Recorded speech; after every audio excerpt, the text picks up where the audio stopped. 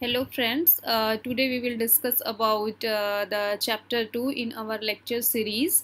Uh, like we will go uh, that what all are uh, things are important and what all are things are important in objective points of view. So we will go uh, by each topic. So the chapter 2 from your syllabus that NET, STO and um, ARS syllabus, the chapter 2 deals with the morphology, insect morphology where there is uh, nine subtopic. Uh, the first topic uh, the body wall is structure outgrowth and endoskeleton okay? So in body wall you have to read about the insect body wall that is the insect cuticle. So you have to read about its mm, what is the body wall and what is its structure. So i can briefly explain you that uh, the insect body wall it having the different layer. Different layer like basal lamina epidermis endocuticle exocuticle and epicuticle okay? So epidermis is the only layer which is uh, having the life. Otherwise all other cells are dead cells okay? And then what all are different uh, uh, area demarcated that you need to study? And what is its component uh, from which the epidermis has been uh, made? Then uh, what is the division in epicuticle epicuticle again divide into upper epicuticle and lower epicuticle then it has the wax layer cement layer and other and there are several cells modified cells of epidermis. You can see there's a tormogen cell trichogen cell gland cell etc so basically you have to study the body wall uh, that is a cuticle structure and then how it get renew like molting process. What all are steps involved in molting that you need to study? And then the other part is that its outgrowth and endoskeletons you have to study so in outgrowth uh, is basically it is called as uh, apophysis and uh, endoskeleton the inside growth is called as uh, okay? So halo in growth is called as uh, so out uh, these may be the uh, unicellular or multicellular okay? So these outgrowth may outgrowth endoskelet uh, are mainly unicellular or multicellular.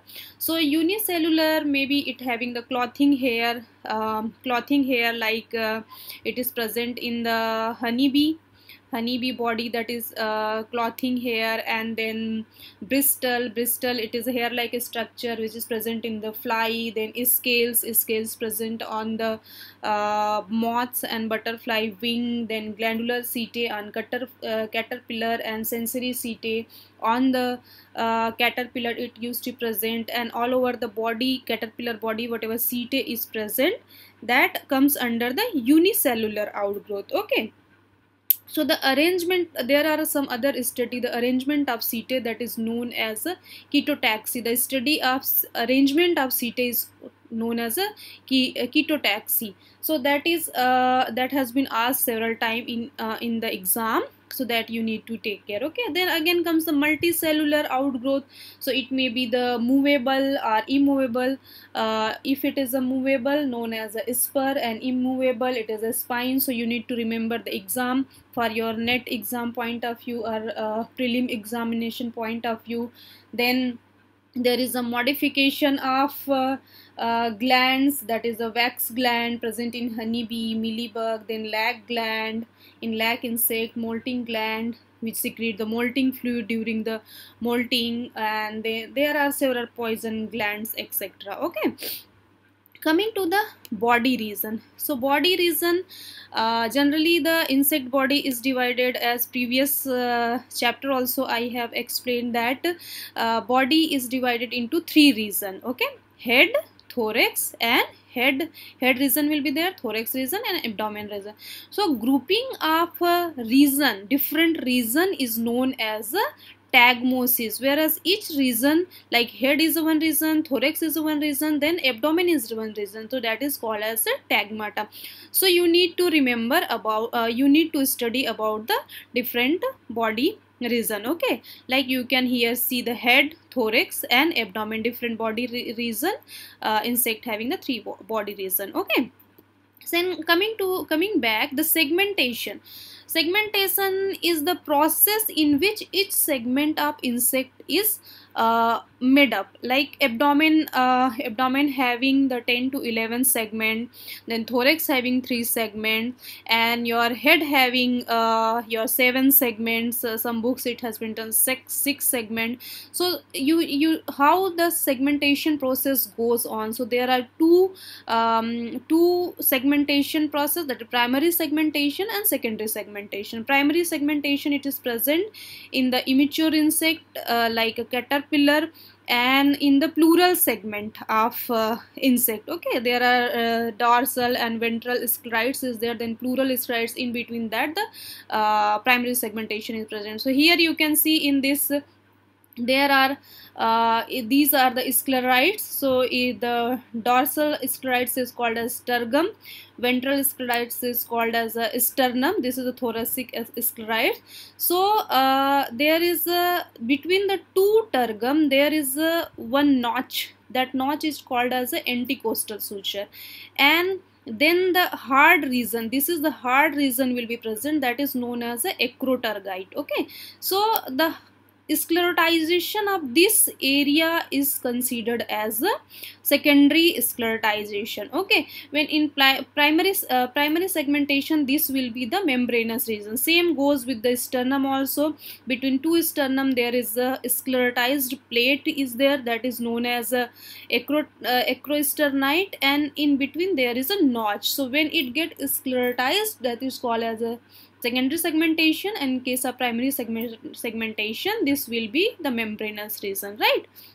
So this is this is uh, in the segmentation process you will read these. Then coming to the sclerites and suture okay? So sclerites uh, sclerites is a hard cuticular plate on the body is known as a sclerites whereas a suture suture is a joint between two two sclerites okay? Like uh, if you see in the head what all are sclerites are there? So head you can see that frons gena mandible labrum ocular ocular sclerites so these these the plates like hard plates like structure will be there that is considered as a your sclerites. Then suture the joint between the joint between two sclerites joint between two sclerites is called as a sutures okay? Uh, mm, like uh, frons between frons and clypeus is known as a frontoclypeal suture. Then here the y-shaped epicranial suture is present uh, which is also known as the ecdysial suture line of weakness. From here only the during molting the insect first burst out the he head burst out okay from this area. Then uh, coming to your uh, um, antenna and their structure and their types you need to study like what all part is present is antenna then types of antenna. So these all things you need to study in um, the antenna and their structure and their types. And then coming to the head and head appendages. So head you can see that here in the insect head segmentation there are different segment you can see. The uh, he, the front portion is known as the acron. Then first this is the first segment where you can see the sclerites you can see. And between two sclerites there is joint that is called as suture. So first sclerites is known as labral. Then second is here antenna will be present. Second sclerites so antennal suture then fourth uh, your here third is intercalary and then fourth fourth is mandibular fifth is a maxillary sclerites and then sixth having the labium. So with that you can get a brief idea about it.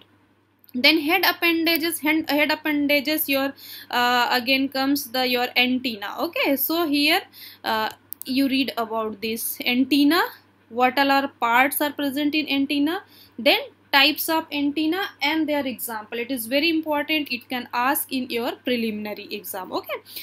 Then the types of mouth part okay? First so what all are mouth uh, what is the component of mouth part? Your mandible labrum labium uh, your maxillary maxillary palpi labial palpi so that is a parts of mouth part okay?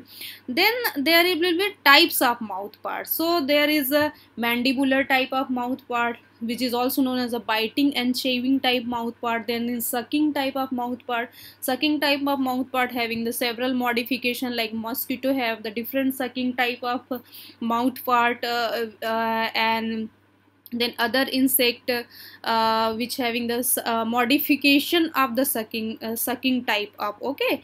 Like uh, you can see uh, mandibular suctorial type of mouth part is present in ant lion and then uh, sponging type of mouth part sponging type of mouth part present in house fly uh, then siphoning type of mouth part it present in the your butterfly. So these kind of uh, are the examples of your mouth part. Then thorax region. So thoracic region you need to study like its uh, uh, structure there is thorax three segments will be there. So what kind of segmentation is present in thoracic region? Then uh, what are different part of their of tergum and uh, sternum? So there is uh, several modification is there uh, in that uh, like which scrites is known by which specific name. So that thoracic structure in detail you can study. Okay. Then coming to the eight thoracic appendages and uh, one of the important point is head. Head you also should study the uh, types of head. Types of head here i can explain. Uh, in generally the, we consider as when insect is laying like that so it is considered a long axis. When the mouth is in the vertical vertical vertical of the long axis. If insect is like that insect uh, you can I can draw here the picture. Uh, if insect is like that okay? So this is considered long axis. If the mouth is at a vertical axis of the long axis it is called as a hypognathous mouth part means hypo means downside. Example you can write like your grasshopper. When the uh, mouth is at the uh, front uh, of the long axis uh, like it is uh, protruded outside. Same line same line of the long axis it is called as a prognathous so prognathous you can write the example. When this uh, mouth part is deflects downward okay deflects downward to the long axis sometimes it comes between your leg. So this is called as the opisthognathous or opisthorhynchous type of mouth part okay. So this mouth part present in mainly the hemipteron so these you can study. And then what else is the thoracic appendages and abdominal appendages in both pterygota and apterygota okay. So thoracic appendages uh, include your wing then wing and types of wing and their example you need to study. And then uh, legs. The legs what all are uh, part is there like coxa trochanter uh, tibia uh, and uh, pretarsus, tarsus, these all things, what all are parts and there are modification in, in the legs. So this is very important in objective point of view like what all are modification are there like cursorial type of modification in which insect like running, cursorial means running and then basket type uh, uh, uh of uh, leg in which insect is present. And then there is a special modification in the honeybee uh, the first leg um, is uh, modified for antennal cleaning second leg is modified for removing the wax plate and the hind leg is modified for collection of the pollen. So those things you can study. And then abdominal appendages. Abdominal appendages there are several appendages are present in abdominal in pterygotes as well as apterygotes so in case of abdominal appendages like cerci is present, median caudal filament is present, you remember the example, then cornicle are present in your honey, uh, so aphid and like that in apterygota also there are several modification in Collembola like styli is present then hamuli is present. So those all of modification you can study. And then coming to the uh, external genitalia general structure and modification in insect order. So this is very important here. The female genitalia and male genitalia both you need to study their structure like what is gonophore uh, what is the plate the genital plate. So the structure uh, this directly asked uh, used to ask in a men's the external genitalia of the uh, female insect so that you need to explain as well as their modification. The uh, genitalia have several modification. So, so this used to be asked in prelim exam. So uh, for this morphology uh, chapter you need to uh, read in such a way that all these things should covered for your example. So for today uh, lecture uh, for the lecture series that's all I, I wanted to convey. So read well. Thank you